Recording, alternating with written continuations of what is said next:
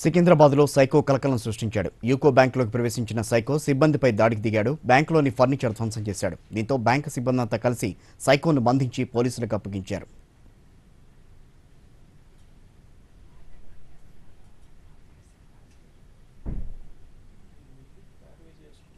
సుమారు ఒంటి గంట ప్రాంతంలో యూకో బ్యాంకులోకి ఒక అతను మెంటలీ అన్సౌండ్ అని అనుకుంటున్నాము.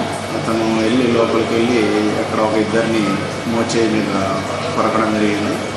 తర్వాత అక్కడ ఉన్న గ్లాస్కు అతను హెడ్తో పడడం వల్ల గ్లాస్ పగిలిపోయి ఆ గ్లాస్ పీసెస్ వచ్చేసి అతను ఎవరైతే మెంటలీ అన్సౌండ్ అతనికి వీపు పైన పుచ్చుకోవడం జరిగింది. ఇమీడియట్లీ మాకు తెలియగానే వన్ నాట్ ఎయిట్ని పిలవడం తర్వాత గాంధీ హాస్పిటల్కు షిఫ్ట్ చేయడం.